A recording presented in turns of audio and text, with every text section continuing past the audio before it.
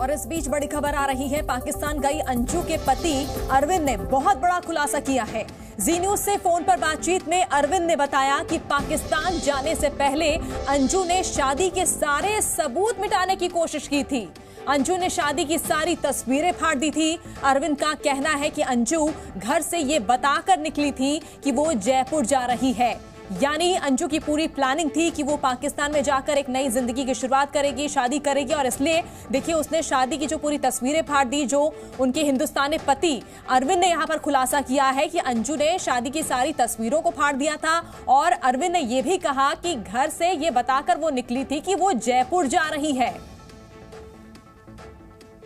आप अरविंद आप ये कह रहे हैं कि आपको ये शक है कि आ, कहीं ना कहीं अंजू वहाँ पर आ, किसी मुसीबत में है इसलिए वो इस तरह के बयान दे रही हैं? मैं तो यही कह सकता हूँ क्या पता वो मुसीबत में है क्या है मैं तो यही कह रहा हूँ ना मुसीबत है क्या है वो कुछ नहीं बता मेरे को तो मैं क्या बताऊँ उसको?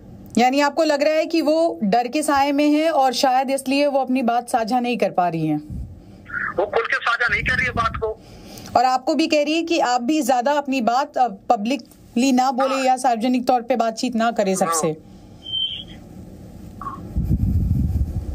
तो फिर क्या उसके बाद बातचीत हुई आपकी? उस ऑडियो के बाद क्या दोबारा बातचीत हुई आपकी?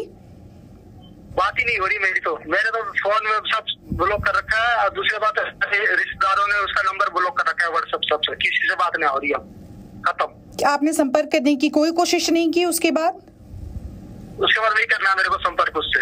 उस लेडीज़ से कर रही नहीं है जो झूठ पे झूठ बोलती है हर बात में यहाँ भी झूठ बोल रही लेकिन लेकिन आपको इस बात का विश्वास मानेगा? जी लेकिन आपको इस बात का शक तो है आपको इस बात का शक तो है कि शायद वो मुसीबत में है इसलिए झूठ बोल रही हो?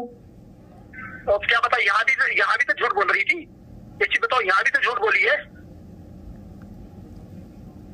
तो आपको लगता है कि झूठ ही बोला है फिर उन्होंने? मेरे से तो झूठ ही बोली है। मैं अभी भी कह रहा हूँ मेरे से झूठ बोल रही है लेकिन वहाँ की बात हम कर रहे हैं कि वहाँ भी आपको लगता है वो झूठ बोल रही है? या किसी के दबाव में झूठ बोल रही हैं? मैंने तो यही पूछा था किसी दबाव में है? कह रही हम्म। नहीं हूँ मैं किसी के दबाव में। ऐसे कह रही है मैं तो खुद आज़ाद हूँ खुद हूँ। तो आज़ाद है तो ठीक है आज़ाद रहे। उसमें क्या